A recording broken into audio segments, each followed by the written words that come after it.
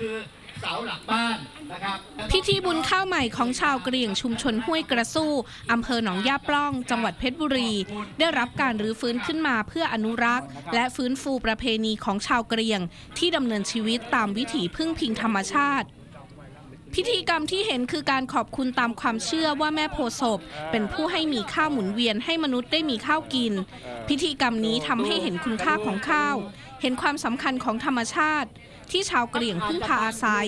และเป็นการขอขมาแม่โพศพ แม่พระธรณี ตลอดจนสัตว์เล็กสัตว์น้อยที่ถูกฆ่าไป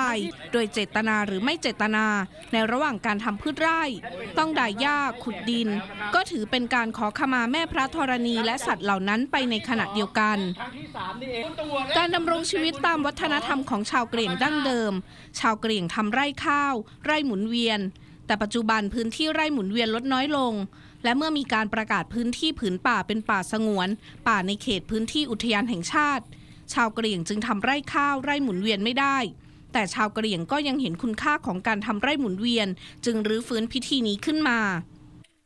เพราะว่าไร่หมุนเวียนนี่มันเป็นระบบการผลิตที่ป่ามันฟื้นดินมันมีความอุดมสมบูรณ์ดังนั้นพอเราทำพิธีขอบคุณแม่โพศพนี่มันเหมือนกับเป็นการรื้อฟื้นนะรื้อฟื้นให้เห็นคุณค่าของไร่หมุนเวียนว่ามันมีคุณค่าต่อ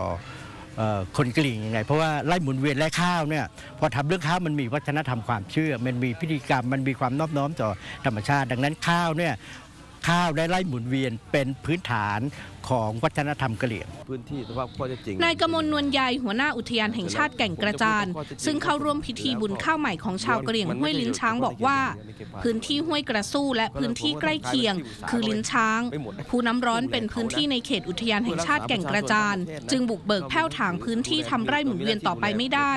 ซึ่งได้ทำความเข้าใจกับชาวบ้านชาวกะเหรี่ยงแล้ว และอุทยานแห่งชาติแก่งกระจาน เห็นคุณค่าของพืชพันธุ์ เช่น พันธุ์ข้าวของชาวกะเหรี่ยง ได้ประสานงานให้นักวิชาการศึกษาค้นคว้า เพื่อขยายพันธุ์ รวมทั้งจะช่วยเสริมสร้างคุณภาพชีวิตของชาวกะเหรี่ยงให้ดีขึ้น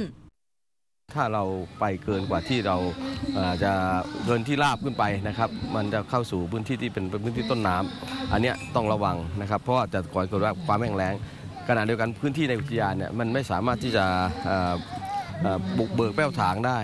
เรื่องจากมีข้อกำหนด แต่วันนี้นะครับ ก็ได้ทำความเข้าใจกับพี่น้องทุกท่านแล้วนะครับเอ่อตั้งห้วยกระสู้ดินช้างนะครับห้วยหินเพิงหุบสาลิกานะครับว่าพื้นที่ที่พี่น้องทำกินอยู่เนี่ยนะก็ขออยู่กับที่นิ่งอยู่กับที่ด้วยมติกรม30มิย41 ที่ผ่อนผันให้ท่านทำกินนะครับ ซึ่งผมได้ให้เจ้าที่ได้กำลังตรวจสอบจากภาพถ่ายทางอากาศ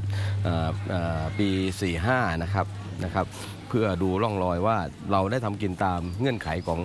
การยกยกเว้นผ่อนผัน ตามมติกรม30มิย30มิยหรือไม่นะครับ ซึ่งประเด็นเนี้นะครับพี่น้องก็ไม่ต้องกังวลไม่ต้องตกใจนะครับ เพียงแต่เราคุยกันแล้วว่าเราจะไม่ขยายพื้นที่เพิ่มนะครับ เพราะถ้าขยายเพิ่มขึ้นไปเนี่ยมันก็จะก่อเกิดปัญหาเรื่องของความแห้งแล้งนะของของสภาพ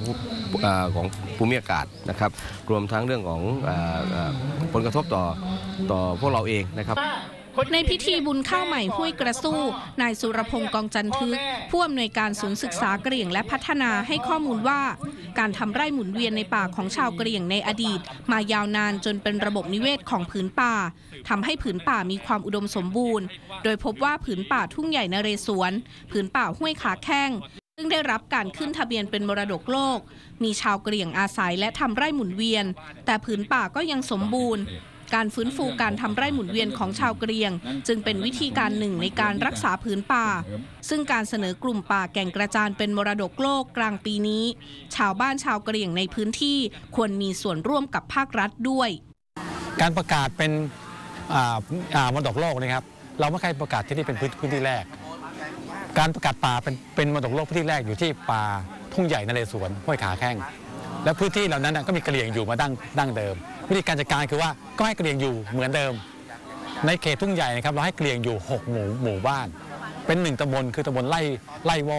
ตำบลไร่โวทั้งตำบลอยู่ในเขตมรดกโลก ในเขตทุ่งใหญ่นนนนเรศวรพอมีการประกาศเนี่ยชาวบ้านร่วมกับทางเจ้าหน้าที่ป่าไม้เนี่ยมาเสริมฉลองร่วมกัน เพราะชาวบ้านเขามีส่วนร่วมในการที่จะเป็นเป็นมรดกโลกแต่เขาเขาก็อยู่ได้ เขายังทำไร่หมุนเวียนได้อยู่เหมือนเหมือนเดิมป่าก็อยู่ได้นะครับคนก็ก็อยู่ได้ เรื่องเหล่านี้ครับควรจะเอามาปรับใช้ในกรณีของแก่งกระจานเช่นเดียวกัน ที่จะให้เจ้าที่ป่าไม้และชาวบ้านเนี่ยมีส่วนร่วมในการเสนอพื้นที่ป่าที่เขารักษาไว้นะครับเป็นมรดกโลกร่วมกัน